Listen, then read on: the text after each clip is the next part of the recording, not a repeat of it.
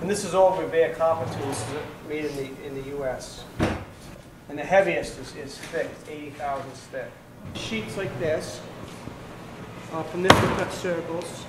Whatever shape I want to spin, I need a form that kind of mimics it. To get the shape, I have to have the exact same shape to spin on. We make these, this is a steel chuck.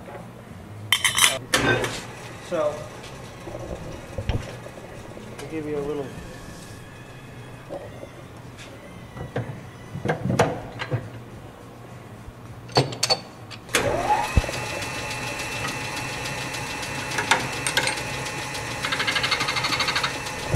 Now, like from that sheet I showed you, I'll cut a circle from out of that sheet, and then this is the circle.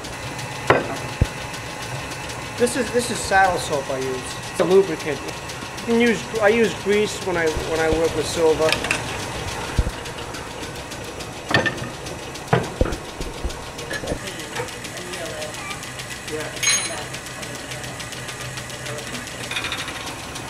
And I just form the metal right over the chuck itself.